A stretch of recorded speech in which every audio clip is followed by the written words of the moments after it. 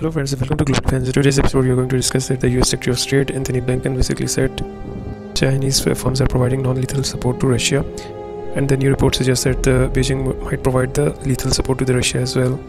Also warned that uh, such action would uh, result in a serious consequences for China. So basically, Beijing uh, outrightly refused uh, these false accusations and the China Foreign Ministry spokesperson said that we do not accept the United States finger pointing on China-Russia relationship, let alone co coercion and pressure. China denied all kind of support that the uh, Russia has basically asked for any military equipment, or requested any military equipments. China and Russia are basically the allies, and uh, the China is yet to condemn Russian invasion of Ukraine. But at the same time, China basically took a neutral position in this conflict and called for the peace. The Chinese top diplomat Mr. Wang and uh, Antony Blinken had a confrontational uh, meeting in the Munich as well. According to US Secretary of State, he basically expressed his deep concerns about the possibility that the China may provide lethal material support to the Russians. And he believes that the information US has uh, is basically that the China would primarily uh, provide the important weapons as well as ammunition to the Russians.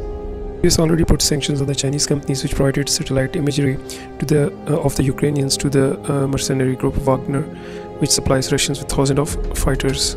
So the US Secretary of State already warned that uh, it is going to create a serious problem for the US and China relationship if the Chinese company provide the Russians with the weapons. And he also said that uh, uh, there is no distinction between the private companies in China and the state-owned companies Recently, we have seen that the relationship between the, both the countries, China and the America, uh, is, are very much strained because uh, of the spy balloon incident, uh, in which uh, the Americans shot down the Chinese balloon. And according to Americans, it was basically spying over the U.S. territory, and it also uh, basically spied over the 40 other countries across the other continents as well. US Secretary of State also said that uh, China basically provided a way to the Russians to dodge the sanctions which were basically imposed by the Western countries since the China is buying the uh, largest share of the Russian oil, gas and coal and also the Chinese trade with the Russia has been growing. But on the other hand, if we see that uh, the US is providing all uh, sort of weapons and ammunition and equipment to Ukraine against the Russian, even the tanks are now considering to provide the fighter jets uh, to the Ukraine as well. Mr. Blinken already uh, already shown his intention that the US can uh, provide any particular weapons to the Ukraine as well.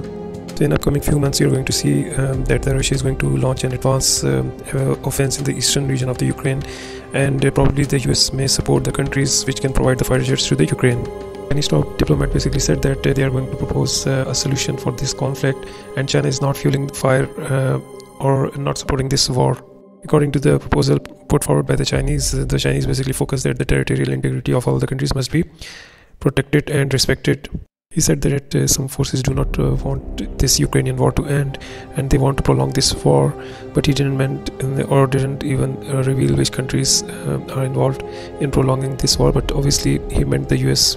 So on 24th February, you are going to see that the Chinese president is going to deliver a peace speech, and uh, most expectedly, they would call for the peace without condemning the Russians. This what the Italian foreign minister basically thinks US basically also warned China that the incident like this Chinese balloon should not again or should never again occur.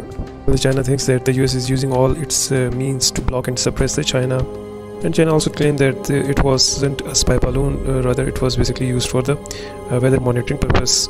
China also warned the US that the US will bear all the consequences if it escalated the argument over the balloon.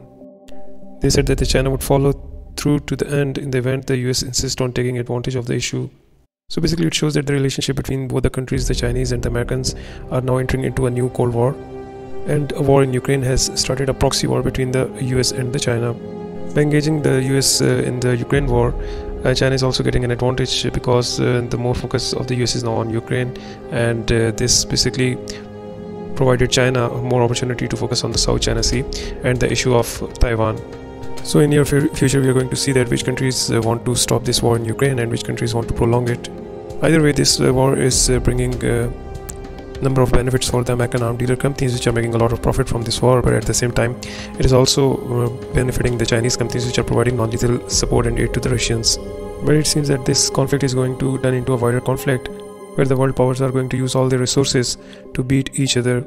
Sending a spy balloon into the American backyard was a clear indication that the China is not afraid of the US aggression in the South China Sea or in the Ukraine and if uh, China has to act then China will act against the US no matter what the cost would be. So friends this was about today's podcast. I hope you liked today's podcast. Do inform us about your valuable opinion in the comment box. Thank you for listening.